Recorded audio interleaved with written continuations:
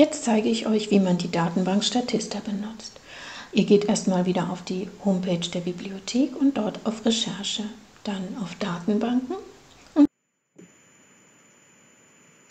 es öffnet sich das Datenbank-Infosystem und ihr gebt in den einfachen Suchschlitz Statista ein. Hier bekommt ihr eine kurze Nachricht, dass ähm, diese Datenbank im Campusnetz der Hochschule verfügbar ist, was bedeutet, dass ihr euch, bevor ihr diese Datenbank nutzen könnt, äh, erst einmal anmelden müsst. Wenn ihr jetzt auf den Link Statista klickt, öffnet sich eine Detailansicht in der ihr über den Inhalt und die Fachgebiete dieser Datenbank informiert werdet. Unter Recherche starten findet ihr den Link zur Datenbank.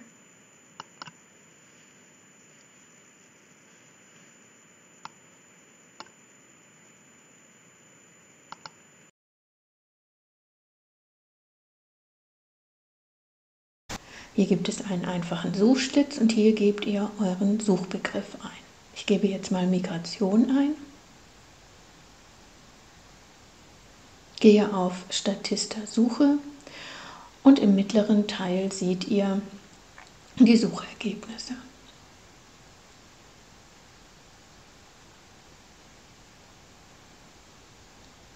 Im oberen Teil findet ihr noch unterschiedliche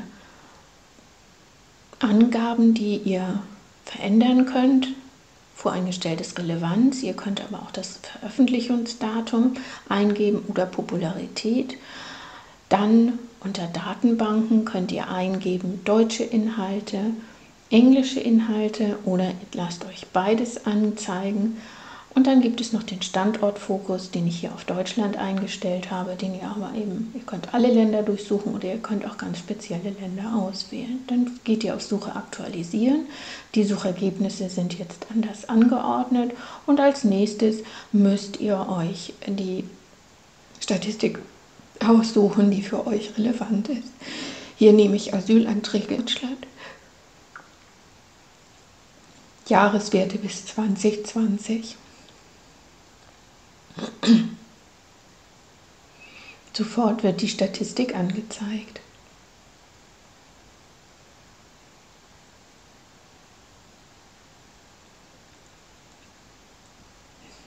Manchmal seht ihr im unteren Teil äh, der Seite noch einen Link, Statistik ausklappen. Da klickt ihr drauf und dann bekommt ihr auch die Werte ab 1995. Rechts der Statistik sind noch ein paar Buttons, die ihr anklicken könnt.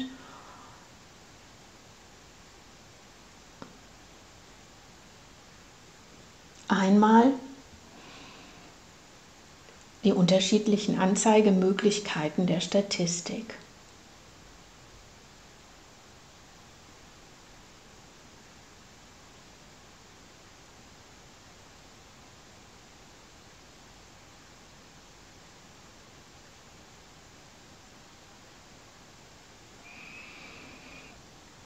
Dann könnt ihr die Statistik auf Social-Media-Kanälen weiter verbreiten oder ihr könnt euch angucken, wie ihr diese Statistik äh, in eurer Arbeit zitieren müsst.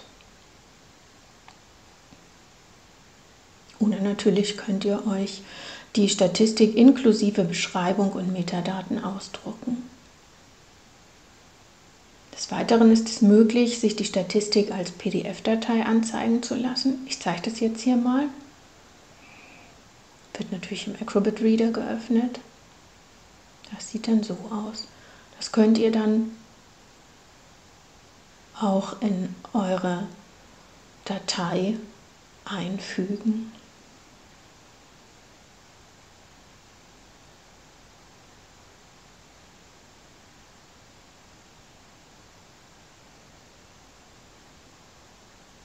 Mit der Excel-Datei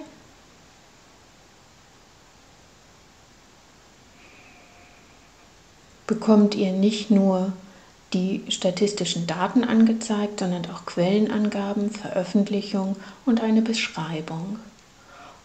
Zu den Daten kommt ihr entweder zu dem Link, Moment, auf der linken Seite zu den Daten oder aber im unteren Bereich über die einzelnen Reiter, Übersicht und Daten.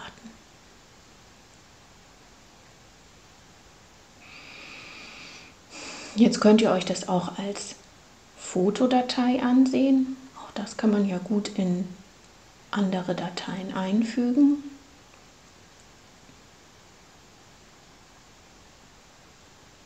Oder aber man lässt sich davon eine PowerPoint-Präsentation erstellen. Auch hier alles sehr komfortabel von den statistischen Daten bis hin zu den Erklärungen, wer was warum gemacht hat. Was ihr auch hier findet, das ist vom die Quelle, den Herkunftsverweis und das Veröffentlichungsdatum. Weitere Details, welche Region, welcher Erhebungszeitraum und so weiter und so fort.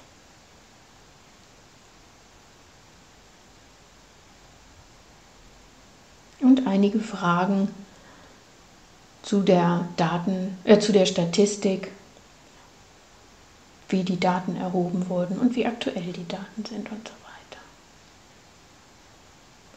Im unteren Bereich findet ihr dann auch noch eine äh, Zusammenfassung zu dieser Statistik Und am Ende der Seite findet ihr noch weitere Statistiken zu dem Thema.